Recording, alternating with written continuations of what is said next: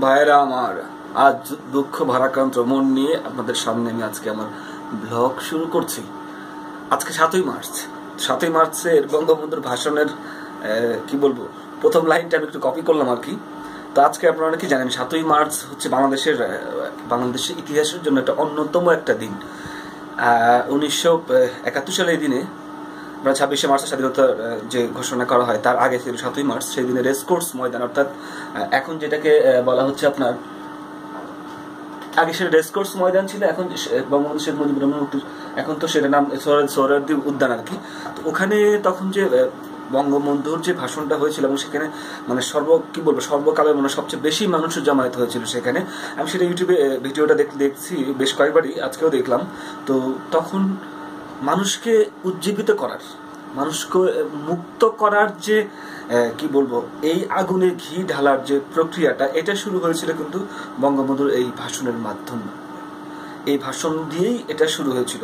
কারণ মানুষ তখন একটা স্বাধীনতা উন্মুখ পুরো জাতিটা ছিল, তখন শুধু একটা একটা ডাকের অপেক্ষা, একটা কলের অপেক্ষা। আর এই কলটা সেদিন বঙ্গবন্ধু সেই এতগুলো, এত এত বড় একটা জনসভা এই সাতই মার্চের এই ভাষণে উনি প্রথম দিলেন আনুষ্ঠানিকভাবে যে আমাদেরকে স্বাধীন হতে হবে। তার আগ থেকে যেটা হচ্ছিল যে পাকিস্তানের তৎকালীন সরকার বাংলাদেশের সাধারণ মানুষের উপর নির্বিচারে নানা ধরনের নির্যাতন, জুলুম করছিল, মানুষ মারা যাচ্ছিল, রক্তে রঞ্জিত হচ্ছিল রাজপথ। কিন্তু আলটিমেটলি এটার কোনো রেজাল্ট আসছিল না। তো একটা পর্যায়ে দেখা যাচ্ছে এগুলো আসলে পুরোটা অনেকগুলো প্রক্রিয়া ধাপে ধাপে ধাপে ধাপে আমাদের স্বাধীনতাটা অর্জন হয়েছে। একবারে তখন ওনারা নিশ্চয়ই ভালো বুঝতে পারেন একবারে কোনো কিছু করাটা সম্ভব ছিল না, সেক্ষেত্রে আরও সমস্যা তৈরি হতো। তো ওনারা যেই প্রক্রিয়া করেছেন, সেই প্রক্রিয়াতেই সবই ঠিক ছিল। আমি এটা ব্যক্তিগতভাবে মনে করি। তো তারপরে এভাবেই চলতে থাকল। তারপর সাতই মার্চের এই ভাষণ হলো। তো সেখানে এই ভাষণটা কিন্তু ইউটিউবে আমরা দেখি সেটা সাদা কালো। পরে সম্ভবত এটাকে আরও ডিজিটাল ডিজিটাল করা হয়েছে। ডিজিটাল করার পর এটাকে রঙিনও করা হয়েছে। আমি এটা, এই ভিডিওটা ইউটিউবে দেখেছি। তো এই সাতই মার্চ হচ্ছে বাংলাদেশের ইতিহাসে একটা অন্যতম দিন। এটা বাঙালি জাতির জন্মের ইতিহাসের সাথে এই দিনটা জড়িত বঙ্গবন্ধুর ঐতিহাসিক ভাষণ। বঙ্গবন্ধুর যে আঙ্গুল উঁচিয়ে এভাবে যে তার ভাষণের যে ভঙ্গিমাটা এটা একটা কি বলব এটা এটা একমাত্র আমার মনে হয় এটা বঙ্গবন্ধুর সাথেই যায় অন্য কারোর সাথে এই আঙ্গুল তুলে উঁচিয়ে কথা আহ, যায় না। এবং উনি এটার যোগ্য এবং উনাকে এটা মানায় উনি এভাবে আঙ্গুল তুলে যে কথা বলেছিলেন। কারণ এইটা শুধু উনাকেই মানে এর জন্য শুধু বঙ্গবন্ধু কে আমাদের অবশ্যই স্যালুট করতে হবে। কেননা যে উনার এই এই কি বল মোটিভেশন বা এই ভাষণে বাংলাদেশের মানুষ যারা মুক্তিযোদ্ধা ছিল বা যারা এই মুক্তিযুদ্ধের পক্ষে শক্তি ছিল, তারা কিন্তু ঝাঁপিয়ে পড়েছিল মুক্তিযুদ্ধের দিকে। তারা বুঝতে পারছিল যে আমাদের একটা যুদ্ধ ছাড়া আমাদের স্বাধীনতা বা মুক্তি সম্ভব না। আপনারা দেখলেন রফিক ভিডিও ডায়েরির blog part fifty sixty five sorry sixty six আজকে। গতকালকে সিক্সটি ফাইভ ছিল, আজকে হচ্ছে ছেষট্টিতম পর্ব সিক্সটি সিক্স তো সবাইকে স্বাগতম জানালাম আজকে। আজকে আমার এই সিক্সটি সিক্স পার্টে তো আশা করি আপনারা ভালো আছেন, ভালো থাকবেন।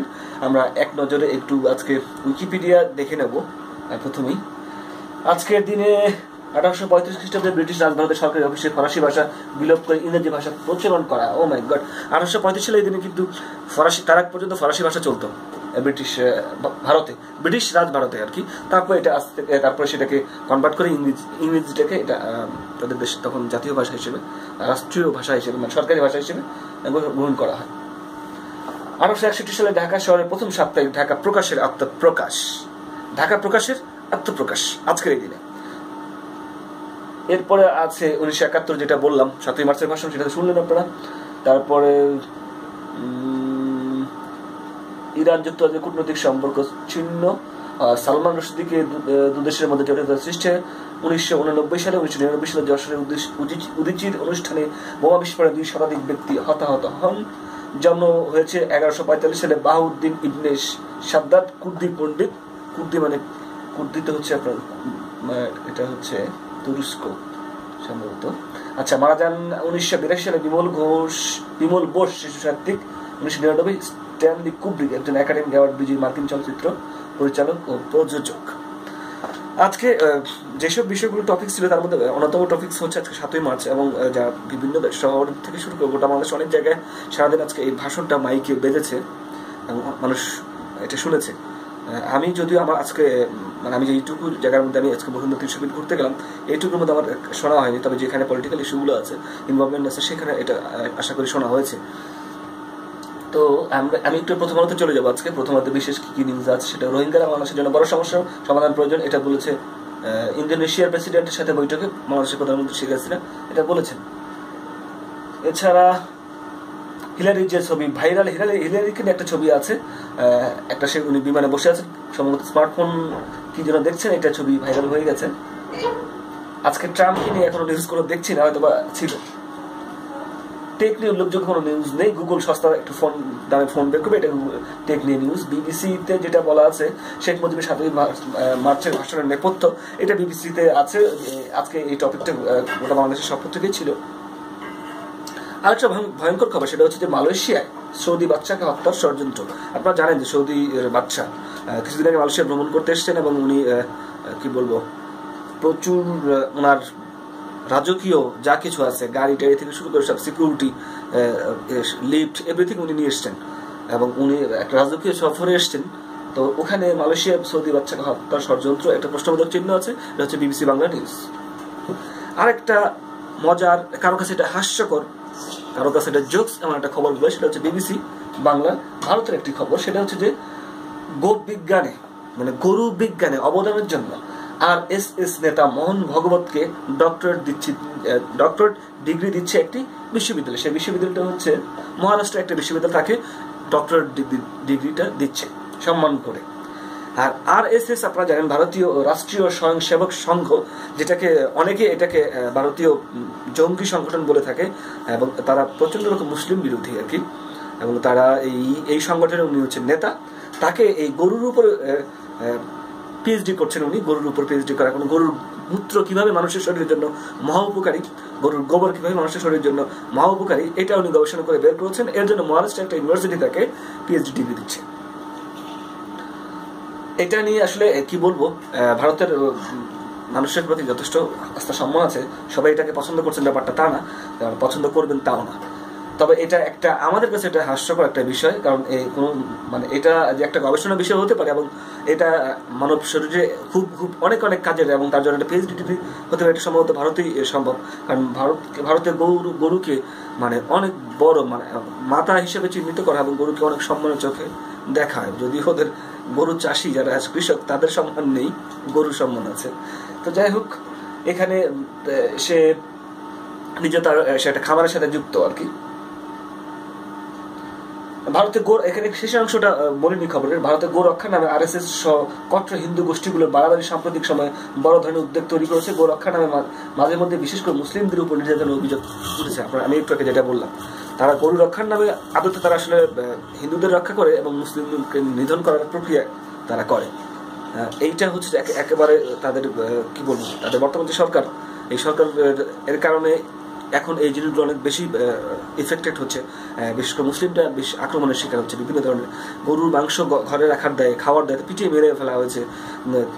মানে অনেক অনেক হত্যা করা হয়েছে কয়েকবার। এগুলো প্রচুর নিউজ আপনারা জানেন পড়েছেন অবশ্যই। তো গরু গরুকে একটা মানুষ ভালোবাসতে পারে তার গৃহপালিত পশু হিসেবে, কিন্তু সেটাকে নিয়ে কেউ গবেষণা করে তার মূত্র বা গোবর এটা নিয়ে কেউ পিএইচডি পেতে পারে, এটা একটা অবাক বিষয়, সম্ভবত এটা ভারতেই সম্ভব। আর এই ছিল আজকের বিশেষ বিশেষ নিউজ সাতই মার্চের একটু ভাষণটা আমি আবার একটু ইউটিউব থেকে প্লে করি। বীর বাঙালি অস্ত্র ধরো। ভাইরা আমার। আপনাদের সামনে হাজির হয়েছি। আপনারা শুনছেন? আপনারা সবই জানেন এবং বোঝেন। আমরা আমাদের জীবন দিয়ে চেষ্টা করেছি। কিন্তু দুঃখের বিষয় আজ ঢাকা চট্টগ্রাম খুলনা রাজশাহী রংপুরে আমার ভাইয়ের রক্তে রাজপথ বঞ্চিত হয়েছে। ঢাকা তখন যে বিভাগগুলো ছিল মোটামুটি সেরকম। বাংলার মানুষ বাঁচতে চায়। বাংলার মানুষ তারা আত্ম অধিকার চায়। অবশ্যই। অন্যায় করেছিলাম। নির্বাচনের পরে বাংলাদেশের মানুষ সম্পূর্ণভাবে আমাকে আওয়ামী লীগকে ভোট দেন। আমাদের ন্যাশনাল অ্যাসেম্বলি বসবে। আমরা সেখানে সাধারণতন্ত্র তৈরি করব ওকে বন্ধুরা, আজকে আর খুব বেশি লং করব না। সর্বশেষ আমি সবাইকে আবার শুভেচ্ছা এবং বঙ্গবন্ধুকে অবশ্যই স্যালুট জানাব ওনার এই অবদানের জন্য। ওনার আল্লাহ ওনাকে ব্যস্ত নসিব করুন, উনি শান্তি তরফে শান্তিতে থাকুন। ওনার কারণেই তার মুখ্য অবদানের কারণে আজকে আমরা স্বাধীন বাংলায় কথা বলছি। আমাদের একটা নিজ- নিজস্ব পতাকা আছে, আমাদের একটা দেশ আছে, বিশ্বে এখন অনেক মানুষ জানে যে বাংলাদেশ একটা দেশ আছে। এটা যদি না হতো, তাহলে হয়তো আমরা পাকিস্তানের অধীনে থাকতাম পুরো পাকিস্তান পাকিস্তান হিসেবে আমাদেরকে পরিচিত হতে হতো। এটা একটা বড় বিষয় সবচেয়ে আর কি। তো আপনারা দেখলেন Rafiq video diary part sixty six, ছেষট্টিতম পর্ব। সবাইকে আবার শুভেচ্ছা এবং স্বাগতম জানিয়ে শেষ করছি। ভালো থাকুন, ভালো রাখুন। বাই বাই, আবার দেখা হবে কালকে।